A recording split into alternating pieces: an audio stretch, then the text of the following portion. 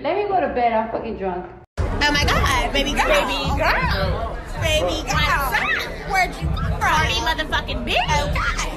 She's so upset. She can't do it. She's trying to figure it out. I'm doing it. she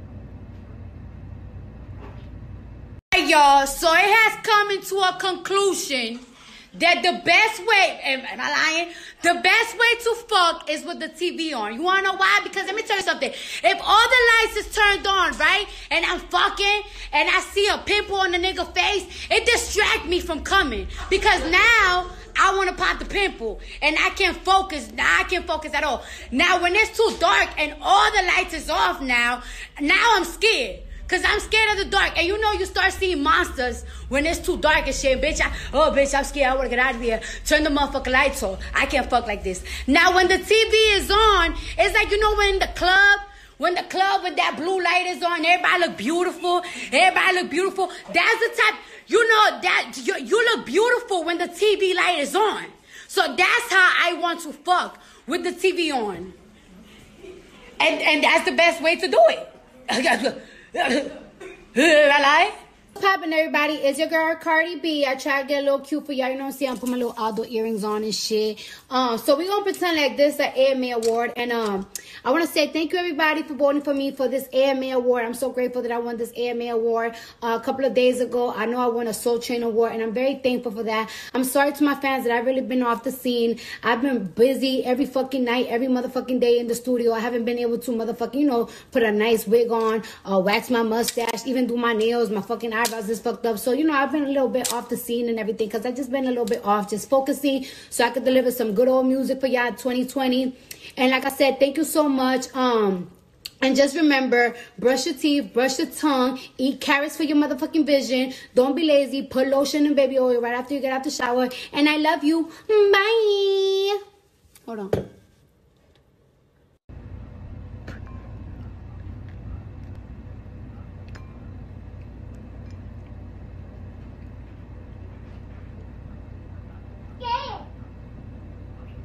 Tell you something. If your friends start acting different when your nigga come around, you need to cut that bitch off. I will tell you to beat her ass right there and then, but I don't want y'all motherfuckers saying that I'm promoting violence and shit. Like, you know what the type of shit that I hate? I hate when a nigga come around, right? And a bitch wanna change her voice, her tone and shit.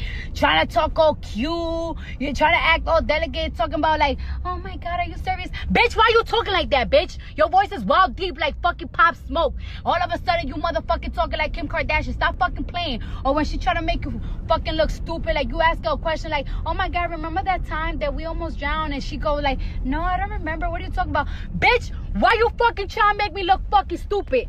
Bitch, I will whip your motherfucking ass. I will ask her right there and then, like, say, bitch, what are you talking about? Like, that happened last week. What are you talking about? You remember? Why you talking like that? Like, stop playing with me, bitch. But I don't got friends like that, so I can't relate. All right, y'all. So let me talk to y'all, right? Because a lot of you bitches talking about tricking and hoeing. But the question is, what level is your trick on? Because there's levels to this shit. Now, the first level, if your trick is paying for your nails and your hair done, giving you 200, that's first level tricking. Second level tricking is when a nigga's buying you a Chanel purse, he bought your surgery in the Colombias and the Dominican Republic, he paid for your $2,000, $3,000 rent in your condo, that's second level.